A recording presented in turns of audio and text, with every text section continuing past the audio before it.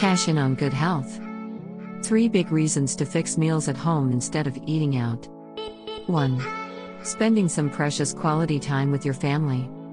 2. Getting a refill on your drink as soon as it's empty. 3. Taking your shoes off under the table without getting that look from your partner, probably.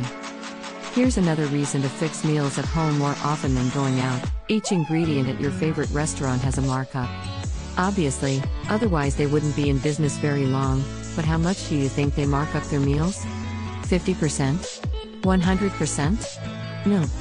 The average markup for each ingredient at a restaurant is 300% exclamation mark superscript 1.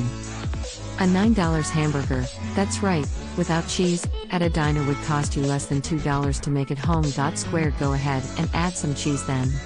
Restaurants need to make a profit, but when you're trying to stick to a financial strategy, cutting back on restaurant prepared meals can make a big difference.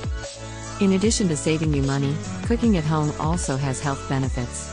The University of Washington's 2017 Seattle obesity study found that those who cooked at home six times per week met more of the U.S. federal guidelines for a healthy diet than those who cook meals at home three times per week.